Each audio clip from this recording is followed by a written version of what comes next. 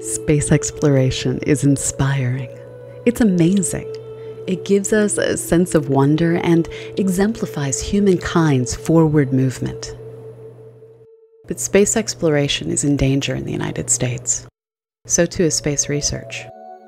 This diverse and vibrant field of study involves everything from revealing how planets are formed and evolve, to finding planets around other stars, to understanding how our sun works.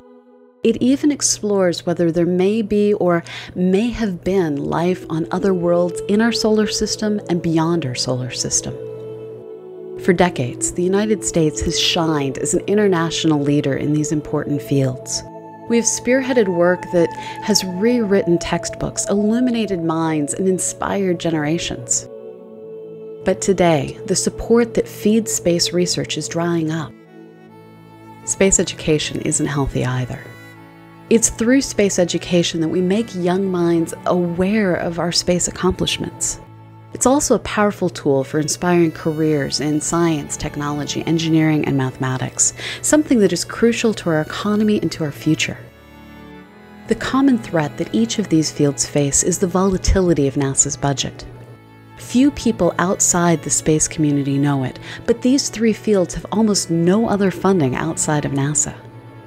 As a result, great projects and dedicated researchers, engineers, and educators get caught in the political crossfire of NASA's budget fluctuations. At Uwingu, we want to change this paradigm. Uwingu is a startup company consisting of astronomers, planetary scientists, former space program executives, educators, and other experts will market innovative, publicly engaging space related projects and use a large portion of the proceeds to create a new source of grants funding space exploration, research, and education. Our ambition is high.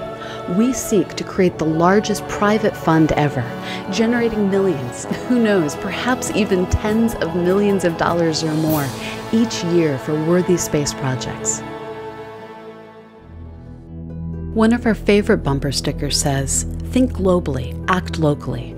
And we plan to do just that at Uwingu, creating whole lines of projects that will support worthy space programs, changing the game a little for space researchers and educators who today have almost no place to go when NASA cuts happen. To make this vision a reality, we need your help to launch our first project, a project we've already developed on our own time and with our own money, and which we can quickly launch after reaching our Indiegogo goal. Will you help us pay the bills that come with project launch, such as marketing, internet operations, and other expenses? Please help us as we take this final step toward project launch, allowing us to seed new explorations, new research, and educational projects for years to come. With your help, the researchers we fund will push out across the solar system and beyond.